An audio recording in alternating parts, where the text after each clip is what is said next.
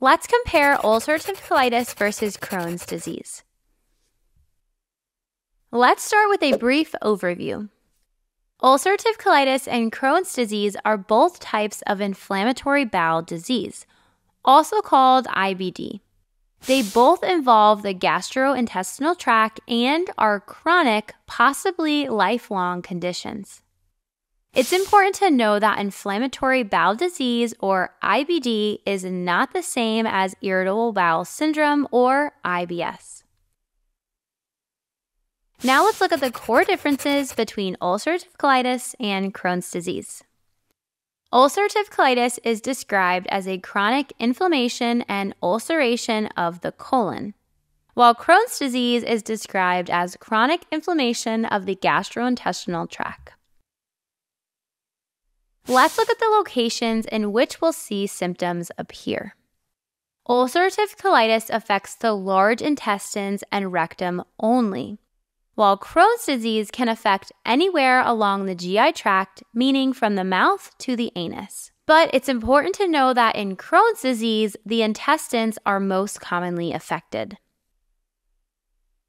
Now let's look at thickness, or how deeply the condition affects the organs.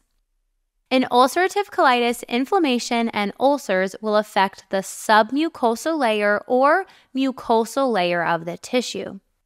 While in Crohn's disease, inflammation is transmural, which means across the entire wall of the organ. If we break apart transmural, trans means across, and mural means the wall. Now let's compare the appearance. Ulcerative colitis appears as continuously inflamed regions with no patches. Like the name suggests, in ulcerative colitis, we see ulcers. You can remember this by the memory trick ulcerative colitis, think bloody ulcers. When it comes to the appearance of Crohn's disease, we see something different. We see a scattered appearance and patches of inflammation throughout the bowel. These patches create a cobblestone appearance. You can remember this by the memory trick Crohn's think cobblestone. Now let's look at the complications. Complications of ulcerative colitis include toxic megacolon, rupture of the bowel, and dehydration. Because of these things, patients with ulcerative colitis are at risk for hemorrhage or shock related to hypovolemia or low fluid volume. Remember, these patients experience bleeding ulcers, which lead to blood loss. Where patients with Crohn's disease are at risk for complications such as abscesses or fistulas. These put the patient at risk for infection and sepsis. Let's look at the classic must know signs and symptoms for each. Both diseases can produce diarrhea and abnormal stools.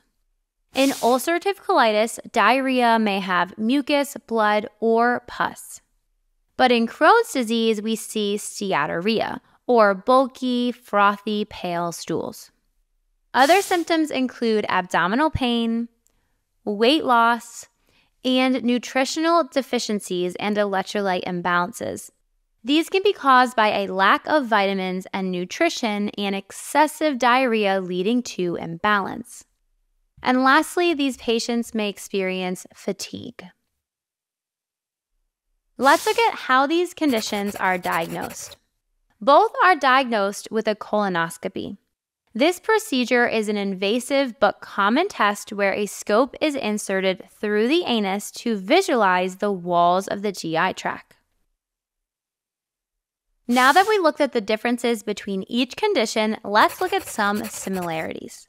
It's important to note that there is no cure for either condition, so surgical interventions are to help symptoms.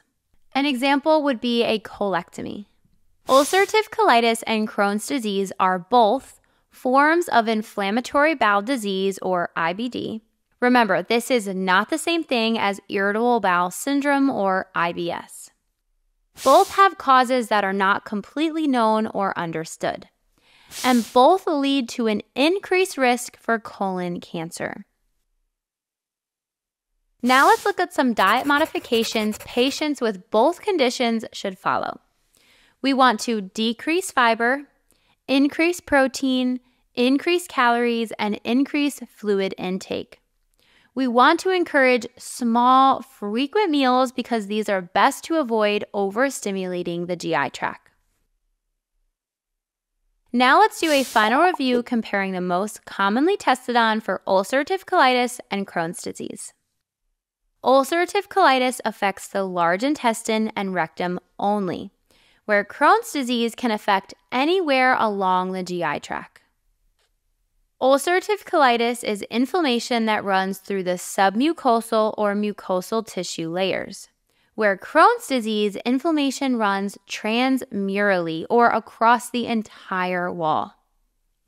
Ulcerative colitis appears continuously inflamed with ulcers where Crohn's disease appears as scattered inflammation and a cobblestone appearance. And it's important to note that there's no cure for either condition. We want to educate them on diet modifications such as decreased fiber, increased protein, increased calories, and increased fluid intake. That's all for ulcerative colitis versus Crohn's disease. If you want more videos that are not on YouTube, check out Nurse in the Making Plus. This includes access to our growing video library, interactive worksheets that go with each video, and practice questions.